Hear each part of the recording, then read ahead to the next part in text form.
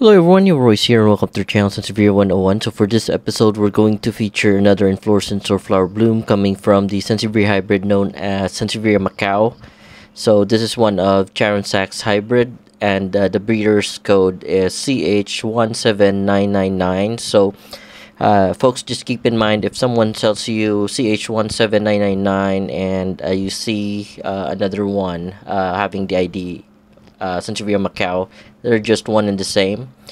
And uh, going back to what we are going to feature, it is the inflorescence or flower bloom. So what uh, you see in the picture there is the early stages of the budding phase, where you see that uh, there are uh, flower bracts on top, and then the flower stalk is uh, very short as of the moment. So as we uh, discuss the inflorescence on a day-to-day basis, you would uh, notice that the flower stalk will grow in length. And right now, what you see is the flower bracts are one by one uh, being left behind or below the flower stalk as it uh, grows in length.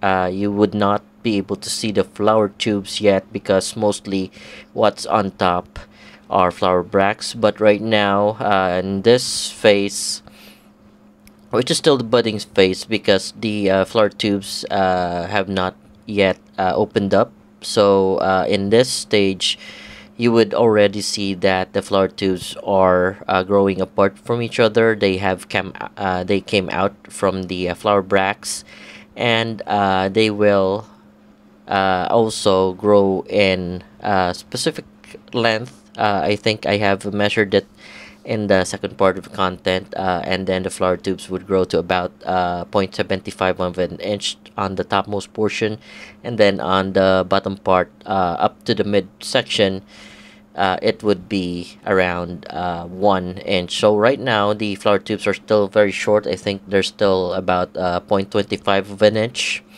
But then as I show you on uh, day-to-day basis or as the days goes by uh, especially on this uh, picture you would notice that the flower tubes are already about an inch of uh, the length. So Next pictures would be the already uh, the blooming phase wherein you would see that uh, first group of the flower tubes have, have opened up, especially on the bottom portion. Then the topmost are still closed, so they will, not all the flower tubes will open up, but in groups. So we will discuss that further on the second part of this content. So uh, folks, uh, please uh, stay tuned as we will have a second clip wherein we will be discussing the uh, inflorescence characteristics uh, with a video clip. Alright folks, so we're back and we will be discussing the inflorescence or flower bloom of the Sansevieria hybrid known as Sansevieria Macow with the uh, breeder's code CH17999 and as we all know the uh, breeder's code st starting with CH belongs to Charon Sachs Suki Wong of Thailand and um, this is my own specimen of Sansevieria Macow. Uh, let me move back a bit so you can see how it looks like in full view. So uh, this is uh, how my Sansevieria Macow has grown and it has bloomed for me. So we will be discussing the inflorescence or flower bloom of Sansevieria Macow for this episode. I will be also including it on the playlist of uh, Charon hybrids or CH hybrids on the channel. So if you guys are interested, you can just uh, check out or scroll the uh, playlist and look for uh, CH hybrids playlist, and that belongs to Charon Sachs Suki Wong. So going back, um, we will be describing the inflorescence of flower bloom. So actually, the uh, flower stalk is very short, and on the first part of the content I have shown you pictures of the transformation of inflorescence from day 1 up to uh, the um, current state which is uh, the one that I'm showing you right now. Uh, it's interesting to uh, go back to or in the future if uh, there are several hybrids that look like the uh, Sansevieria Macow, then we can go back and uh, compare the inflorescence if we have uh, or which or if we have a different hybrid in future compared to what I'm showing you right now. So going back this is how the inflorescence looks like and what I have here is the uh, measuring tape to measure the uh, height of the inflorescence like I said the height of the inflorescence is actually very short and it's not uh, reaching to about 12 inch. Uh, with what I have right now it's showing 9 inches.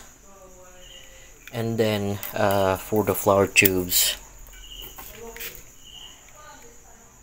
I can actually measure them and it's about one inch for the flower tubes and uh, the topmost portion though it is just I, I, I would say half of an inch.